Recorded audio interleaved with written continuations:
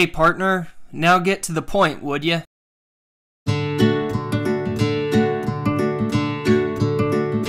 Good evening, cowboys, cowgirls, and outlaws. Welcome to the Slick Sixguns Network. I'm your host, Slick Sixguns, and I'm here to provide education, tips, and community for those interested in the Western shooting sports. If you're interested in stuff like that, make sure you hit that subscribe button and that notifications bell so you don't miss anything. Today's episode is sponsored by Alamo Knife Works. Be sure to check them out in the description section of this video. Also in the description section is a link to our Patreon account if you feel like supporting us. Now let's pack our wagons and see what's being discovered out west. One of the common accoutrements that you see out on the range during a competition is the good old fashioned knife. However, what are the rules for having such knives in competition? In the Cowboy Fast Draw Association's Gunslingers Rules, Guidelines, and Handbook 10th edition, it states quite plainly that clothing is an essential part of the atmosphere that is created in cowboy fast draw contests and related activities, with the late 1800s clothing being the theme. Western cowboy, including working cowboy clothing, is acceptable townfolk, and period profession is acceptable as well. In short, yes, a knife is acceptable to wear at competition, and it fits the theme, which does not list a limit on its design. In the Single Action Shooting Society Shooter's Handbook, it states under the clothing and accoutrements section that all clothing and equipment must be worn appropriately and how it was intended, or how it would have been in the Old West or as seen in the movies.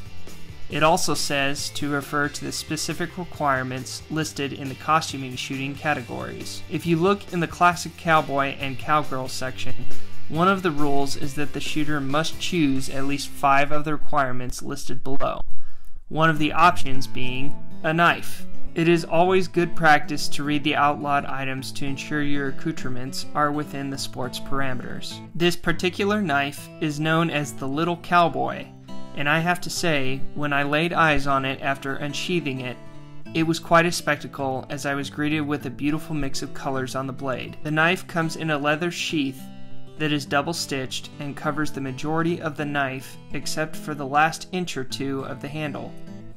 A leather strap can be opened and closed to gain access to the knife and is held in place by a metal snap. The knife is secured in place by this leather strap that naturally wraps around the bottom of the handle. The maker's mark is visible to any observer who gives the sheath a good glance and appears natural and pleasant without detracting from visual appearance of the leather. In its current configuration, it is designed to be worn on a belt with the ability to be drawn using an across the body motion.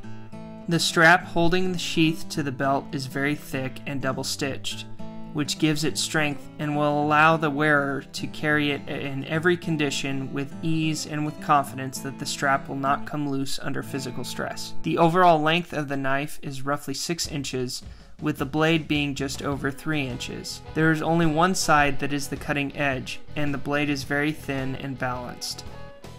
The blade is made with Damascus steel and several hundred layers of 15N20 and 1090 heat treated to around 58 on the Rockwell hardness scale. There is even a notch on the blade to assist with opening objects that can't be opened by hand. The handle is made of polymer similar to that of a bowling ball and fits nicely with the metal on the knife. This gives the handle to knife fit a smooth contour and does not have any raised edges. Of course, to add more western flair, you could tie a leather wrap around the handle to make it look more authentic. The handle has a hole in it to accommodate a type of tie down, leather or otherwise. MSRP for this particular knife is 65 US dollars so it is definitely an affordable item to anyone with an eye for knives or western wear. The knife is capable of making fine cuts on paper and cutting twine as well as rope for everyday use. Or it is the ideal size to remove unejected shells from either an 1897 shotgun or any lever gun that is used in competition. It is also thin enough to get into the area between the carrier and breech on all rifles of toggle-link design. It even can assist in removing caps that have fallen into the mechanism of a cap and ball revolver or remove a stuck cap from a nipple. Stay tuned for future episodes to see how different knives can be used in the Western shooting sports and their history.